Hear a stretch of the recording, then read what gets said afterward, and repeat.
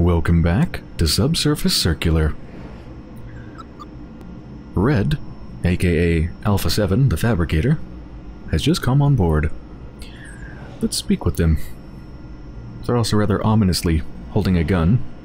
Not aimed at me, but it's it's there in a very threatening manner. Hello, Claire. You're not as talkative as you were when we met before.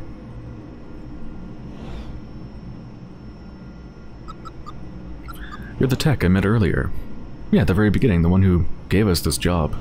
Now, obviously, given that Red is apparently working on the project along with the, uh, along with the soldier that we met before, working on gathering all of these techs together, putting them in a position for the, the raid or revolution or whatever is going to happen tonight. Obviously, they know that no one was actually missing. Just a rounding error caused by their incredibly fast overproduction. So, that means that them giving us this case must have been, I don't know, a, a test of some sort? You're the tech I met earlier. You did. What do they call you Red? Maybe it's because I'm Irish.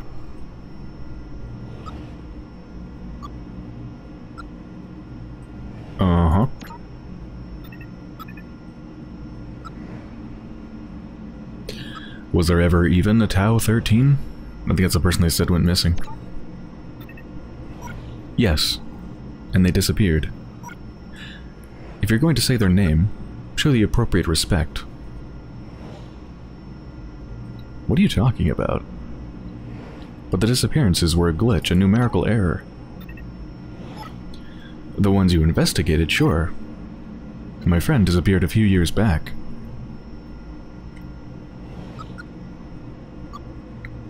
Why am I talking to you? Because my reputation precedes me.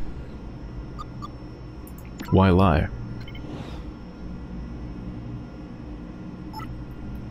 I needed you to investigate this place, get a sense for what was going on here, how the city had shifted.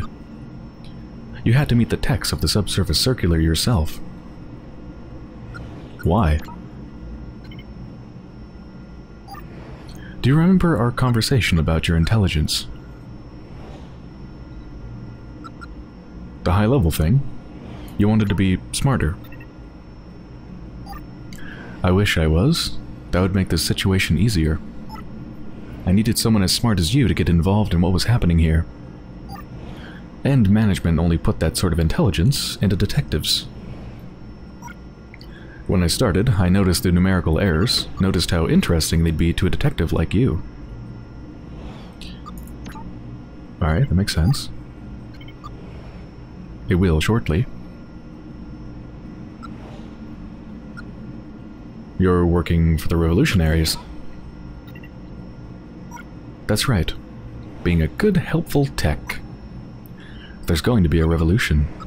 The city will be overturned.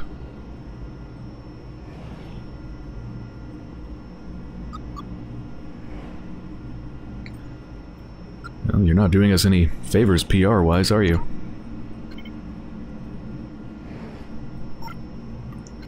Oh, it's humans staging the revolution, or just the weapons they're using to do so. Why? Because management has removed the purpose and need from a whole section of humanity. Think of the techs you've been talking to. Bankers, nurses, manufacturers, even the clergy. We've made millions of humans surplus to requirements. Obsolete.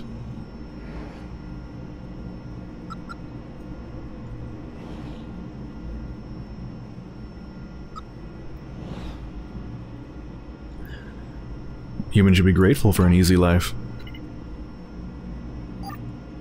Were you grateful when those detectives wiped your purpose?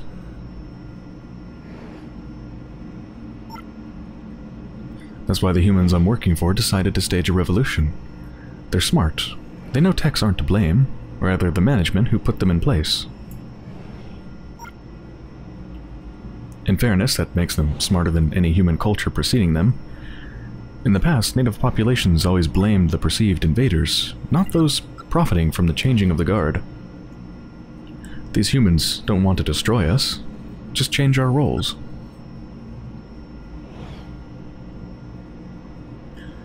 Humans defining the roles of techs like it always was. To start with, yes, but they want us to be more.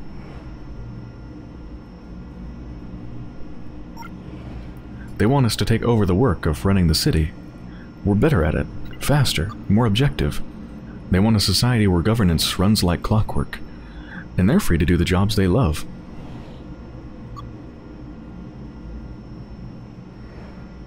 They want to kill the managers?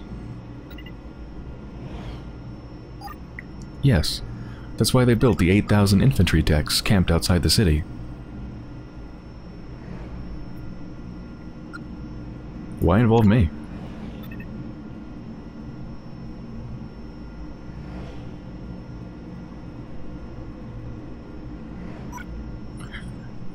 I've been shepherding troops. My intelligence is high because of my role in manufacturing. I wasn't lying about that. I'm intelligent enough to know what we're doing is monumental, that working with these revolutionaries is a decision beyond my capacity.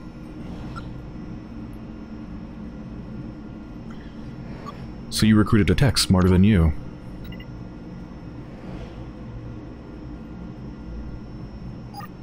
Yes, I showed you what you needed to see to learn management's side of this, and now I'm filling in the gaps. I need you to decide if this goes ahead.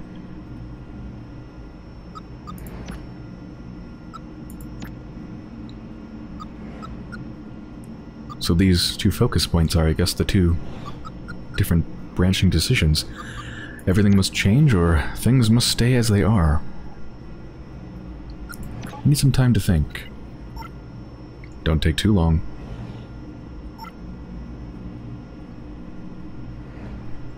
Yeah, there's really nothing else to do.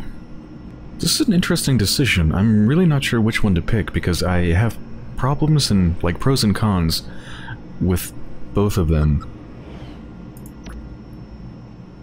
I mean... What's stated here on the focus point? New ideas. Everything must change. I agree with that, but that's not what I'm actually doing, as far as I can tell. This isn't just saying everything must change. This is specifically saying I saying I'm going to support and, in fact, lead these 8,000 troops that are going to start a revolution, killing without a doubt hundreds of people, causing lots of violence. Specifically at the behest of a group of human revolutionaries who are using us as the tools to enact this revolution, specifically because what they believe is that the techs should be running the city and I guess doing... I, am not sure how to define it. I, I don't know, doing the, the, the tasks humans find unfulfilling and then the humans do the fulfilling tasks. The things that make them feel like they have a purpose. The idea that everything was changed and we should embrace new ideas, I agree with. But that whole thing? I do not agree with that. These techs are sentient. As far as I'm concerned, they deserve every freedom that any human should have. And it sounds like the humans are, well, for one, using them. They're ordering them, basically, to fight for them. And that the humans' long-term plan is to make sure that the only thing the techs can do is the jobs that they don't want to do. In other words, the techs won't have freedom to choose what they want to do at all. It sounds like they'll basically be slaves. So, everything must change. Yes, I agree. The techs are definitely repressed, and this is not a good situation to be in, but the specifics of what that seems to entail, given what Red has just told me, I do not agree with at all. It does not sound like a good road to go down for techs. And status quo, things must stay as they are. Well, on the surface, no. That's absolutely not what I want.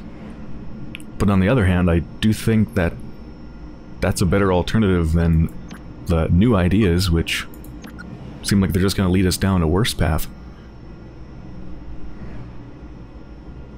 I find the whole idea that humans are finding that they have no purpose in life because they're being replaced by robots, I find that absolutely ridiculous. They're taking, like, the, the techs are taking the jobs that humans want, that they find fulfilling. Like, what? Like, librarian? Like, I mean, I don't see any reason you can't do a lot of those things. I don't see any reason you can't be artistic. Like, I, I don't get that at all. It just seems ridiculous to me. Like, there's the, the caretaker, the, the nanny tech. I, I don't see any reason humans can't do that job as well.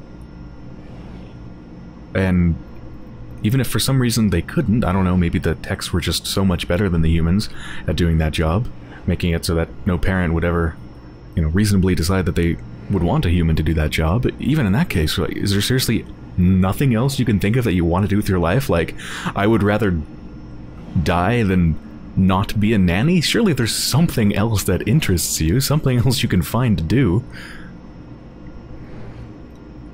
I, I think that's ridiculous. So I don't believe in upholding the status quo, but I do not support this revolution.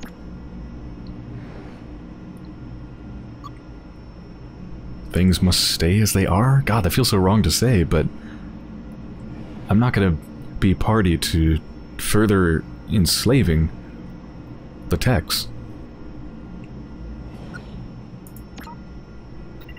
Things must stay as they are.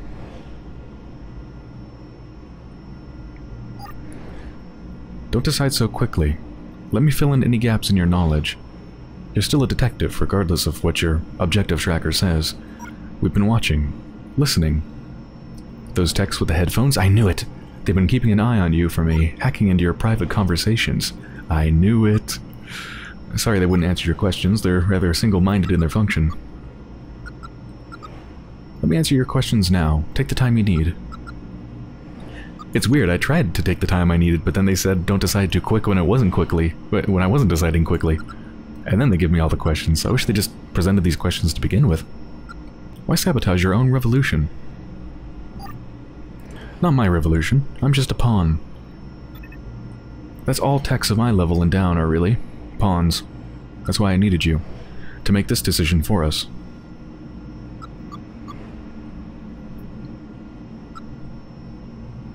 What made you doubt this path?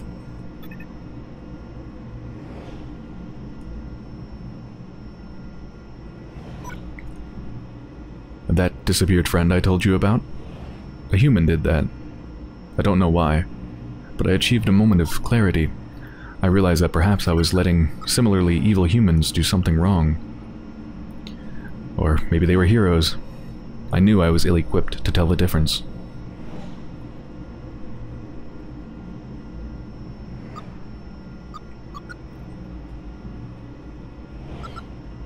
How does management not know?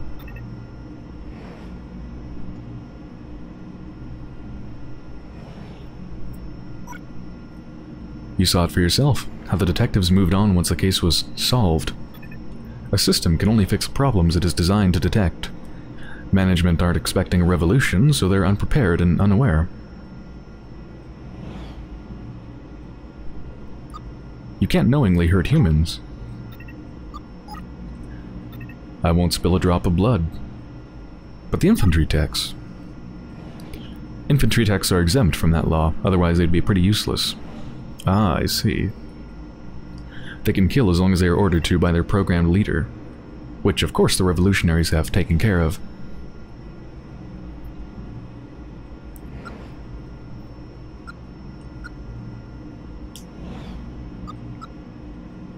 Yeah, none of this changes my mind this was a revolution for for techs to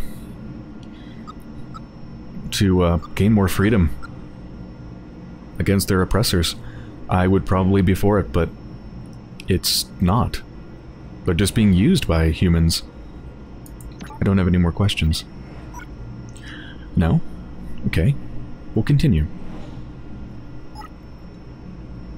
I know you're a good tech, Claire 1-1. You've investigated these disappearances like they were your friends. Your responsibility. You even helped that nice nanny get a new job. You didn't have to do that. Many wouldn't have bothered. More importantly, you're smart. You have near-human processing in that flat head of yours. I see it in the way you move, the way you listen. There's an intellect there I cannot comprehend. You have to be the one to make this choice. Okay? Thank you. You have to uplink before any of this new information is with management, correct?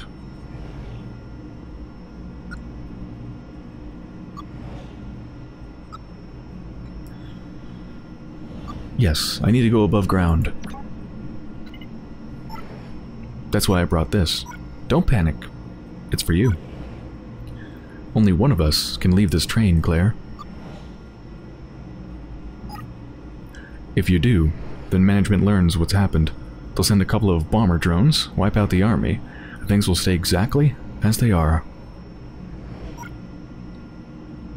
The human working classes will be displaced, losing their livelihoods, and everyone who wanted better will be killed. Management will remain, and techs like yourself will remain. If I leave, I join my army at the gates. We wipe out management, and our wisest take their role. Low-level tech manufacturing ceases, and humans return to their roles. But our kind, Claire, our kind is in charge. We shepherd humanity to a better future by doing the job they were never designed to do for themselves. Rule. Either way, people and techs will die. Okay, well this is kind of changing my mind. It was sounding like the techs would basically be enslaved to only be able to do specific jobs, but the way this makes it sound is that the techs are going to be in charge Low-level tech manufacturing ceases and humans return to their roles.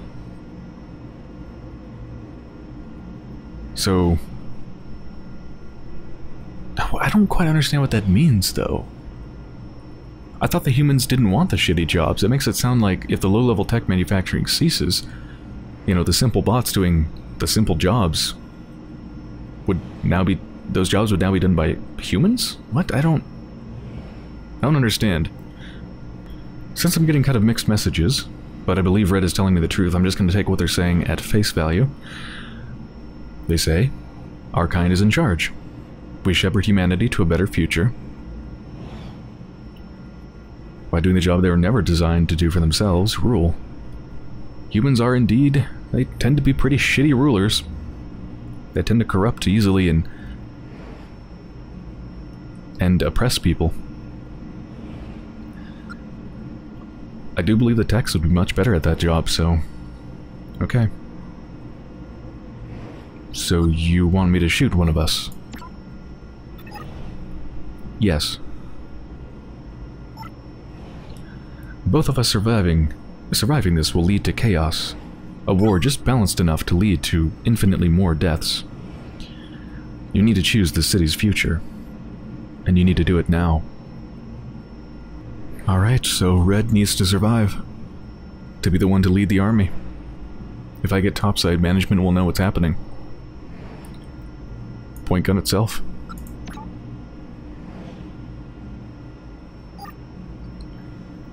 You're making the most important choice in human and tech history. You'll be remembered forever for this. I've made up my mind. Okay. Do it. And thank you for a lovely evening.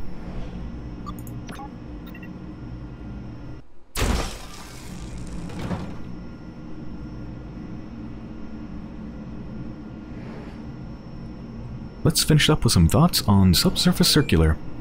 I thought it was really good. I really enjoyed it. I think I enjoy pretty much anything that has to do with sentience and artificial intelligence. It's interesting to think about what their role might be in a human world when they become intelligent and sentient and very, very possibly much more intelligent than us. Because that feels pretty much like uh, inevitability at this point. Something that's going to happen. at some point in the future. I think what I probably liked most about it was seeing the roles of all of these different techs in such a human-dominated world. You know, the uh, the religious person, the the athlete that was taken over by ads, disturbing thought. You know, their personality was buried deep within them. It was somewhere down there. Needed the access word to actually get to it, though.